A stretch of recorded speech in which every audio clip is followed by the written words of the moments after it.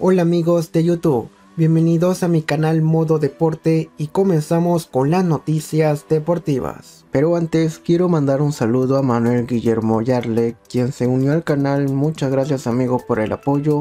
Ahora sí, comencemos. Este sería el 11 titular que mandaría Pablo de Múnich ante Colo Colo por la segunda fecha del Campeonato Chileno 2023, con González en el arco. Ormazabal, Fuentes, Taller y Díaz serán los cuatro de fondo. En el medio campo arrancaría Larralde, más arriba Marín, Fernández y Hernández. Y en el ataque está Moreira y Donoso. Por su lado, el equipo del técnico Gustavo Quinteros comenzaría con Cortés en el arco. Wimber, González, Falcón y Rojas conformarían la línea defensiva. En el medio sector estaría Thompson, Pavés y Fuentes. Y en el ataque tendríamos a Volados, Penegas y Moya. Este partido se desarrollará en el Estadio El El 29 de enero a partir de las 6 de la tarde hora de Chile.